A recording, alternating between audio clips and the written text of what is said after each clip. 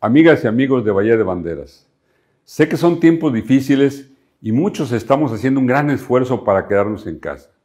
Sin embargo, hay muchas personas que desafortunadamente están haciendo caso omiso a las recomendaciones y ponen en riesgo la salud de las personas. Queremos salir pronto de esta contingencia, pero esto no será posible sin la colaboración de todos.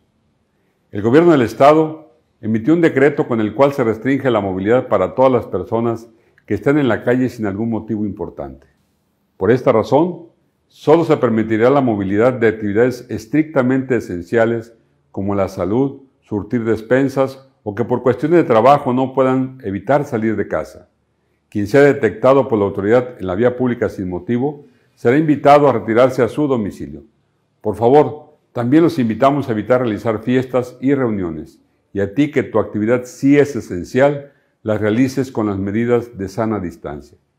Como alcalde y como médico quiero cuidar tu salud, sobre todo de los más vulnerables.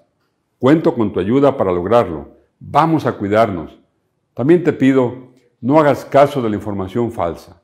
Acatemos lo que nos indica la autoridad sanitaria y de esta manera saldremos adelante. Este difícil momento lo enfrentaremos juntos. En Valle de Banderas, la prioridad eres tú.